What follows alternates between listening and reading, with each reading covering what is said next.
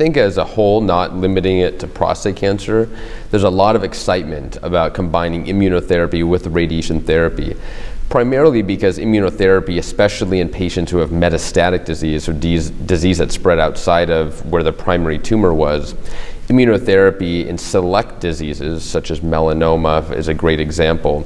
Immunotherapy has shown great response rates for these patients that used to have a very poor prognosis a lot of work is going into showing that radiation may sort of uh, sensitize a patient to immunotherapy in the sense it may release uh, the signals that the immune system uh, recognizes. And so there's a lot of trials ongoing in a variety of disease sites, including prostate cancer, that are trying to combine radiation and immunotherapy to try to sort of release these signals, we call them antigens, release these signals so the immune therapy realizes that the cancer should not be there to get rid of it. Um, I will say that prostate cancer on first pass has had less success than many of these other cancers that are sort of poster child like melanoma. And so some of the initial trials being done have not been as favorable or as positive, but it hasn't not stopped. There's still a lot of research ongoing trying to improve and optimize this, this combination.